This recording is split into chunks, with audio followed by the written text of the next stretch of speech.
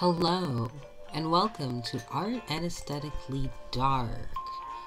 I hope you like this. This is where I read books that are like horrors or thrillers or just something really inviting, and you know, I, and I tell you about it while I paint a picture or just paint something. I don't know. It's gonna be something. And at any rate, let's see see what happens, right? Now, the first story we are dealing with in this little series, in mind, oh, mind you, um, for future reference, for right now, uploads would be irregular because, like, you know, painting takes time, but I have a few, uh, on hand, so at least we have something to look at and listen to. So the story we're looking at in today's episode is The Hounds of Tindalos by Frank Belknap. Belk. Belk. Belknap? Yeah, Belknap, long. He has nearly seven decades of bodies of works, including but not limited to 29 novels, 150 short stories, eight collections of short stories, three poetry collections, and numerous freelance work and comic books he scripted. He was a long, prominent force and contribution for the science fiction scene during his time.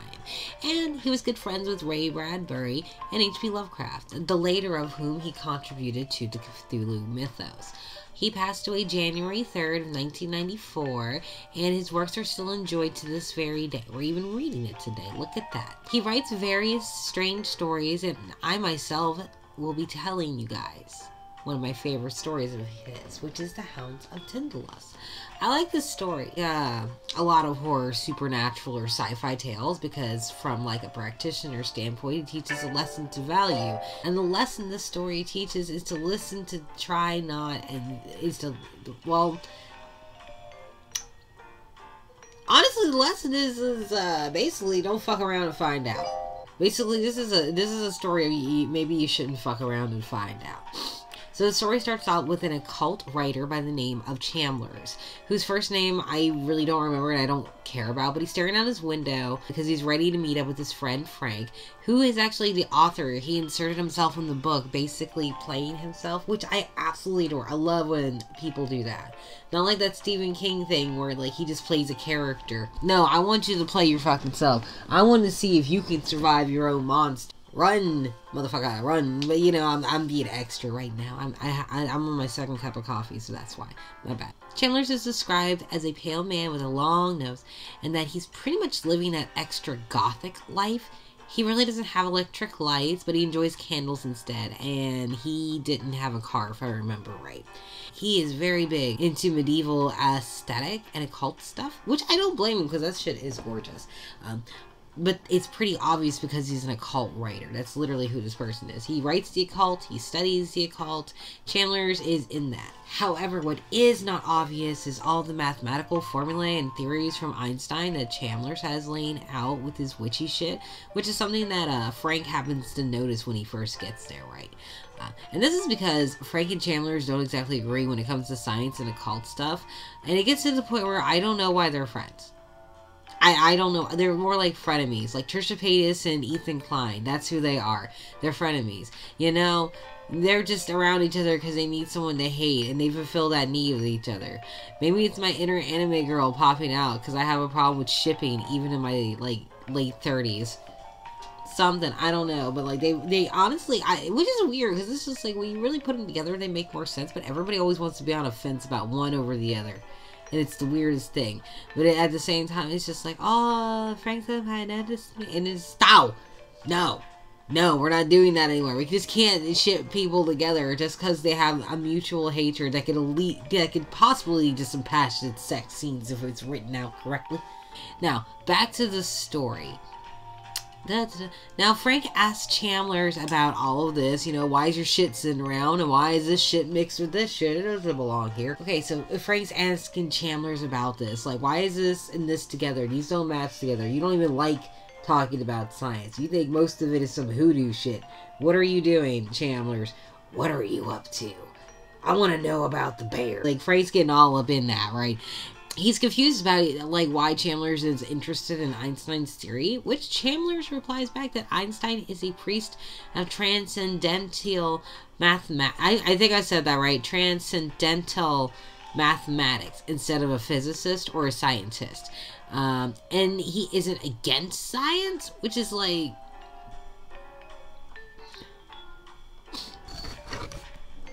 Isn't the physicist the priest of transcendental mathematics anyway? Like, that's pretty much the point. That's like going to a produce associate, giving them an apple to change it from red to green. And, and, and calling them a fruit wizard. It, like, what's the difference? What's the difference? His problem with science is that it's taking too long to help humanity and that a time travel is a big deal. Time travel, for some reason, is a really big deal. It's such a big deal, in fact. He's even suggesting that Einstein, with all of his formulae and studies and mathematics, is hiding something in regard to time travel unfairly. Dun dun dun! Chandler thinks that since science and Einstein were dragging their feet and that maybe the insight of the occult could step in and do a, the job better. Which is just like, okay, but if they're hiding something, why are you trying to figure out? You know, sometimes people hide things for good reasons. Maybe not good reasons to other people, but it's always good reasons to them. But sometimes, just sometimes, there are there are moments when hiding things is to protect you because you might be stupid and fucks with it, or worse, is gonna fucks with you. This is the whole lesson of, you know, fucking around and what happens when you end up finding out. So Frank listens as Chambers tells him that he found some old Chinese drug, because, you know, that's reliable, that can allow him to enter the fourth dimension and go back through time, and that humans have an imperfect perception of time. Basically, Chandler suggests that time isn't this linear string of events, one after another, but of all events, all at once, and that we only see them as linear because we can't go outside our own dimension to observe time outside of itself. Which, yes, and eh, but no. Yes, but no. Like yes, but no. Um, it's more like we everyone has their own time, and space has time. So you gotta be a thing of this time. And you know what? I'm not getting into like science and physics and shit right now. That's gonna be way too confusing. You know, Frank's kind of reluctantly agreeing with this, but he's. I'm not. I'm not entirely sure if it's because he understood what was going on, or if it was one of those smile and nod sort of deals. You know, when someone already tells you something three times, and after the third time you just act like you heard him, but you really didn't. Maybe he was doing one of those numbers. I probably would have. Interested. I really, I, I would love to hear more about. Like, I know there was more in the book, but it was one of those things where, like, I can't keep reading this. I'm tired. So Chandler's has five pellets of this Chinese drug called Liao, I think. I'm not sure that's pronounced right. Which leads him to also go on some diatribe about Tao. No, Dao even though it starts with the T, it's pronounced Dow. Which causes Frank to be like, hey, that sounds like some bullshit. But then Frank agrees to help him anyway. So I don't know why he bothered calling bullshit on his friend if he's gonna go help him anyway. Maybe they have other things in common back in the day or something. I'm not sure, but like, it seems like the two of them really don't like each other. It's almost like Hyde and what's his face? Lanyon, that's his name. Like, Frank and Chandler's is like Edward Hyde and Lanyon from the strange case of Dr. Jekyll. Like it's like that relationship, except they haven't got to the point where they're ready to like fight each other or some shit. Lanyon was ready to fight Hyde or Jekyll though. He really wanted to. So Chandler's wants to dictate his adventures. He wants to dictate what's happening to Frank. He wants to tell him the adventures and he wants him to write it down about what's like going back through time. And Frank's all like, I'm getting bad vibes from this, bro. And Chandler's like, says back, No problem, man. I already did a vibe check. We're good. And Frank doesn't trust that, which is a good thing because Chandler's, in fact, did not do a vibe check. In fact, Chandler's barely invested in any sort of research in what the fuck he was doing and, and, but the research he's about to do is the excellent kind where it's like this is what happens when you fuck around and find out. And i'm gonna keep saying that. Like monetization doesn't matter. I just got on this shit. So it's just like yeah um this is on some f around and find out right here. That's what's gonna happen. So frank is once again being like this isn't a good idea.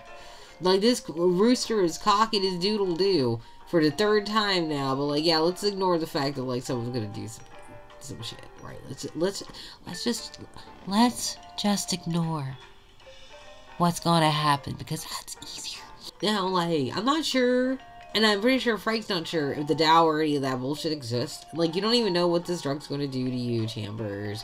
You fucking weirdo. What are you doing? So, like, Frank is once again being like, this isn't a good idea, Chandler. I'm not sure the Dow or any of that bullshit exists. You don't even know what that drug's going to do to you, man. You're a fucking weirdo. Why do we have to do this? And Chandler's is, like, all again saying that he knows what he's doing. He just doesn't want to get lost in time, aka lose his mind from a bad trip, like some LSD he got from his dealer who said it was from China or some shit. Uh, he actually doesn't have any control. He's a liar. Frank knows he's lying, but he really can't call him out because he doesn't know exactly what he's lying about. The lie is he knows what he's doing. That that's the thing. He's lying about knowing what he's doing. But after giving another excuse why this will work, Frank for the last time tells Chandler this experiment is really giving off the worst bad vibes he's ever had. Uh, even though he and Chandler don't seem to get along well, they're still friends, and he's telling his friend that this is a bad idea. And Chandler literally calls his friend a little old bitch. Like, well, the the actual quote is "Don't be an asinine old woman," but it, it's the same thing it's it, it, means the same thing. It's just different words. I said it in an easier way. Uh, but I gotta say, I'm impressed at how writers like can curse people out without saying the words. But the two proceed anyway. And as soon as Chandler's pops the drug and all the clocks stop, Frank's reached out to get him, but Chandler stops him and allows everything to happen. So he lays down, and Frank gets to writing, and soon everything appears black the Chandlers. He eventually begins seeing everything that happens before, and going backwards anyway. He tells Frank that he can see civilizations rise and fall. He can see how cities and towns and nations developed, how victories and wars went down, how the rulers and leaders of nations succeeded and their people failed, and they failed their people. Eventually, Chandler's goes far enough back to find this period before time where all there is is angles and curves. And this is where he should have stopped. In fact, he shouldn't have never gotten to this point because, like, this is a no-no area. This is the no-no square. Hey, you can't go in there. That's a no-no square. And he went right the fuck in. He went right in. Now, I'm, I don't know if he had if he had done research, if he would have known not to go back this far. Don't really matter though. So, like, he ends up entering the strange angle in search for more information, and he describes this angle as having an earthly horror behind it. And then all of a sudden, he just starts flipping his shit and writhing on the floor like he's being attacked. Uh, Frank helps his friend out of the bad effects of the drug by giving him some whiskey because the best cure for a drug is alcohol, apparently. And Chandler tells Frank of these creatures called the Hounds of Tindalos that smell terrible and putrid, and they are born of angles, whereas our dimension is born of curves. And apparently there's some cosmic energy in man that, like, the Hounds are hungry and they're evil, but not in the sense of what we perceive as the evil, but more like a mindless, senseless hunger for what is curved or some. I, he's he like it was a bad trip. It's a really bad trip. He's freaking out. He he's grabbing his friend. There are tears streaming down his face. He is crying like a young lady. This poor man. You know, Frank is all like, "I'm going home, and I'm calling you a shrink." I'll talk to you later. And then he goes home, leaving Chandler's by himself. So the next morning, Chandler's calls him in a panic, and the next thing Frank knows, he's buying 20 pounds worth of plaster, which is like $50 at Ace Hardware. So it's like, it's, it's not that expensive, actually. Well, it was before 2023. I don't know what it is now. It's probably like a good 100 pop we have inflation. Uh, now, why is he buying the plaster, you might be asking? It's because Chandler's begged him to. Why did Chandler's beg him to? Um, we're going to get there. So he gets to Chandler's place, and Chandler is just going all mad lad on his house and on Frank as soon as he gets there. He tells Frank that he needs his help to turn all the angles in the room into curves rather than angles or corners, right? So to make sure you understand, Chandler's just asked his friend in a frantic state to help get him plaster, and then informs his friend that he needs to cover all the corners and angles of the room in plaster to make them curves, so the hounds of Tindalos don't find him and hopefully return to their place in time once they can't find Chandler's. Because apparently the hounds can only enter through angles or corners, so that's why I wanted to turn them all into curves, so the hound of Tindalos can't, you know, get them. Now, anyone else would uh, would assume that this man is tripping. Any anyone else, but Frank, he's a good man. He's a good man and he's a good friend. He's a better friend than I am because Frank goes and helps Chandler's for four hours at turning all these angles and corners into curves. And after the two of them are done, Chandler's is feeling pretty confident that his last ditch effort at protection is going to work. But you got to remember, plaster takes like a minute or a thousand to dry, so we're clear. Also, I'm not sure if the walls of his house is also plaster. Just keep that tucked away in your pocket. Keep it save it for a rainy. So Frank at some point is like, "Hey fam, you gonna go talk to that shrink like I want you to? Because that would be good for you, man." And Chandler's basically goes off on Frank, just off, uh, like just uh, straight off the handle. Um, the paraphrase more than I already have. Chandler calls Frank a square, which you a narrow mind to understand the complexities of the occult shit and how he can never understand or comprehend anything beyond this dimension. Pretty much saying Frank is dumb. Mind you, spent mind you, Frank spent half a day, maybe a quarter of the day, with the dude on drugs. Came back the next day after spending fifty dollars on said friend. Then spent four hours with the guy doing manual labor for no reason other than cause the dude saw some dugs that smelled bad on a bad trip. Now I'm into the craft, right? I'm witchy. Now I know I'm a witch and all, but this sounds like some crackhead meth behavior. This sounds like some crackhead who dabbles in magic with you. This is like a crack wizard, is what it is. This is crackhead behavior. this is crackhead behavior. Little bit of meth, but he's not dancing around. He just keeps freaking out. So it's more likely just crack. Pretty sure Frank did too, because he storms out without a word, and I don't blame that man. And then Chandler's trying to, to apologize after being an ungrateful and smug jerk to his friend. I don't think he answers. I don't, I don't think Frank was. I don't. I think Frank was like, I don't give a fuck. So the next part of the story ends with two articles from the news and an excerpt from one of Chandler's writing. The first story talks about an earthquake of unusual severity hitting the area at 2 a.m. It caused a lot of damage and started fires in electric systems and railways to like fuck up. The second article is titled Occult Writer Murder by Unknown Guest. Take a guess who? You don't need to, because it was Chandler's, of course. It was Chandler's! They found him in the morning of the earthquake, mainly because there was a putrid smell coming from his door that led to the main hallway of his apartment building. The neighbor that lived across from him tried to ignore the smell until he thought maybe that it was just a gas leak and got the superintendent. And then they went and opened the door and discovered that there wasn't any furniture, which is weird, and that there were scenes so terrible that it caused the superintendent just stare out the window for five minutes and just contemplate if he should jump or not.